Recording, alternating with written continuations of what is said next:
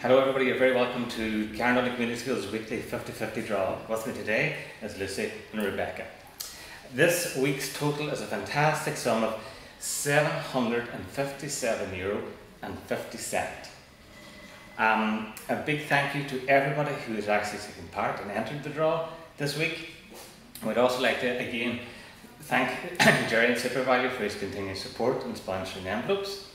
Um, and envelopes are also available now to, in uh, Moorings, Maltown, Lafferty's, Glengad, McGuinness's, Kildare, Docks, Malin Head, Doherty's News Agents, The Diamond in Carndonagh, and Centra in Kilmarnock. Um, thanks again for all your support, and thanks to the hard working uh, committee, the 50-50 committee, for all the work done in the background. So Rebecca, if you'd like to put your hand in Yeah. and draw out one envelope, and again we're going for a great total of 757 euro and 50 cent. We have an envelope. Michael Dory. Dory.